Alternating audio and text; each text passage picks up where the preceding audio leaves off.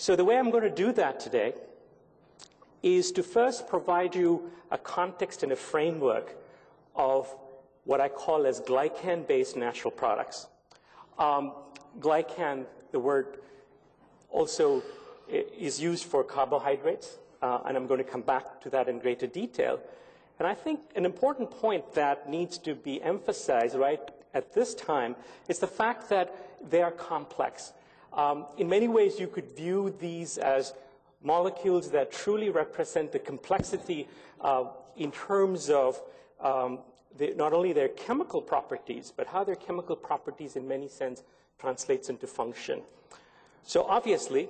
I want to, to put this in the context of the importance of glycans, a point that I made a few seconds ago, the fact that they have in many ways fundamentally uh, changed the central dogma of molecular biology in the sense that the dogma has been revisited in the context of the role of these glycans in regulating biological functions. And needless to say,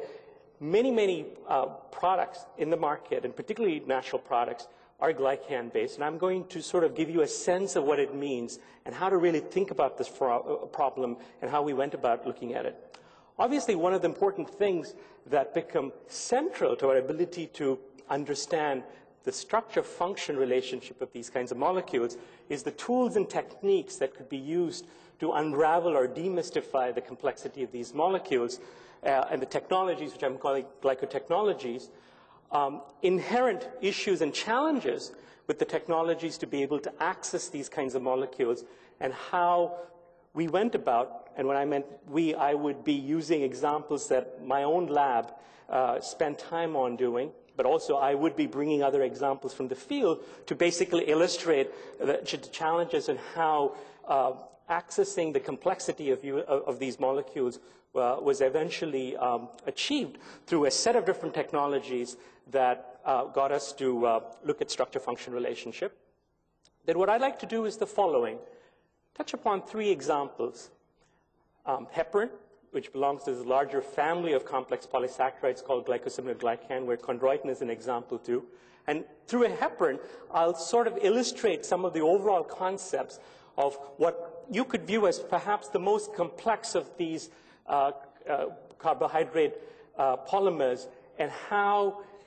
the structure activity paradigm has really been uh, uh, approached with regard to some of the recent technologies to be able to get to not only the basic mechanistic studies, but uh, some of the clinical applications. Uh, obviously, I'm going to focus on another different class of molecules just to give you a flavor of when carbohydrates are attached to small molecules, such as in ginseng, what are some of the key issues that become important to not only understand the structural aspects of these molecules, but the consequence in terms of biological function. Uh, a very different kind of complex polysaccharide derived from plants, pectin, is another very interesting example, again, a natural product. Uh, uh, people have been uh, exploring the different clinical applications of pectin. I'm going to touch upon the structural aspects of it, and how the structure relates to function from a mechanistic point of view.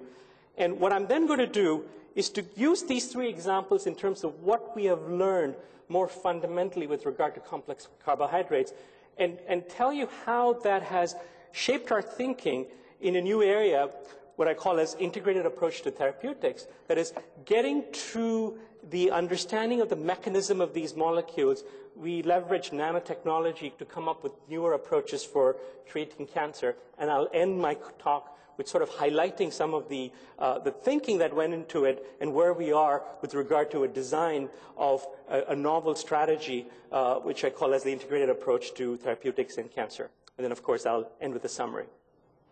So with that, let me begin with first addressing the issue of what are glycans and why should it be relevant to this audience and how that relevance eventually bridges into something more significant in terms of their complexity. I think all of us are familiar with this aspect of carbohydrates, the fact that they provide energy uh, coming from various different sources. And of course, there's a lot of excitement in looking at the sources of carbohydrates from a point of view of uh, you know, better food, organic food, and how to balance, if you will, the yin and yang of uh, getting the right amount of carbohydrate uh, with, the, of course, the different kinds of diet, the Atkins diet, and so on and so forth. But underlying that is the fact that essentially carbohydrates provide energy. And much of the earlier work in carbohydrates essentially focused on how carbohydrates, with fat and, of course, proteins, go through distinct biochemical steps, um, including the TCA cycle as a way to generate uh, the energy currency, which eventually leads to cells to function. And of course, we all do know that uh, there's nine calories per gram from fat, but only four from carbohydrates. In, very simply put, carbohydrates is the easier currency. It takes a lot more carbohydrates to generate energy as against fat, but it's one that, if it's not used the right way, it can eventually lead to the production of fat and the storage of fat. And much of the historical uh, appreciation of carbohydrates focused on the biochemical pathways of how carbohydrates played a role in energy metabolism. But what I'm going to talk about today is while we began from there in understanding this set of molecules, they do a lot more than provide energy. While energy is obviously a very basic and a fundamental process, I'm going to now put glycan in a much broader context of biological systems and then get to the heart of the structure-function relationship and try to really give you a flavor for that in terms of the biological systems. So we're all aware of the fact that from the point of view of energy, there are several different kinds of carbohydrates which historically or classically have been known as the storage molecules like glucose, fructose, sucrose, variety of simple carbohydrates, but they are polymeric in nature, units that repeat themselves as a chain and how they are broken down.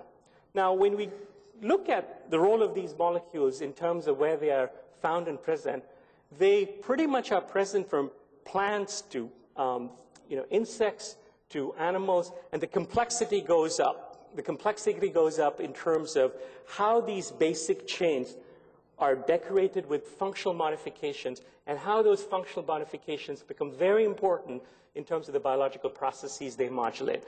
So going beyond the storage, when you're looking at structural polysaccharides such as cellulose, which is the key polysaccharide for plants, it provides the architecture for the plant, or chitin, for instance, which provide the shell for insects, that's the structural polysaccharide for insects, you, you begin to see some of the, uh, you know, the modifications and the complexity that start building in these molecules, how they assemble together. Now, when you go beyond that, and I want to illustrate with pectin, since I'm going to come back to pectin as an example, you have a homopolymer, but then you have regions of these molecules that have enormous chemical diversity, various different building blocks. Not only do you have a linear uh, molecule here, but they branch out, and you have a combination of linear and branch structures that lead to the complexity. They are found in the roots, they are found in the fruits, they are found to be not only important structural parts in some sense, at, at least historically as they were viewed, but they do play a central role in the cell-cell communication of plants. And plant biology has really taken off dramatically in trying to understand the role of these pectins in cell-cell communication.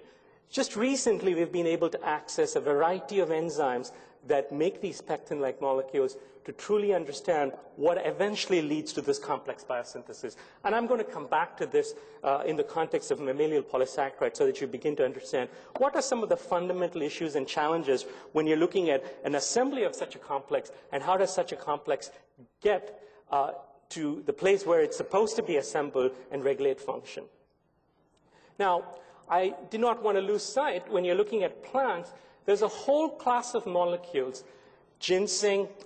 molecules from neem,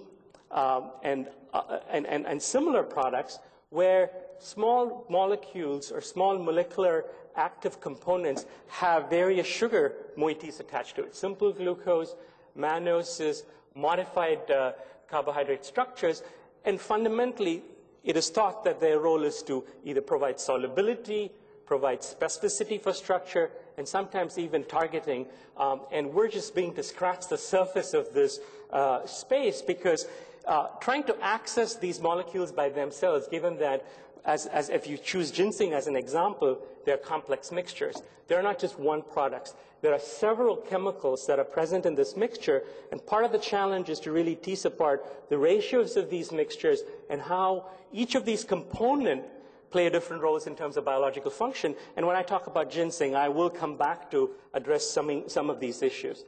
So changing gears, if you look at complex polysaccharides in mammalian system,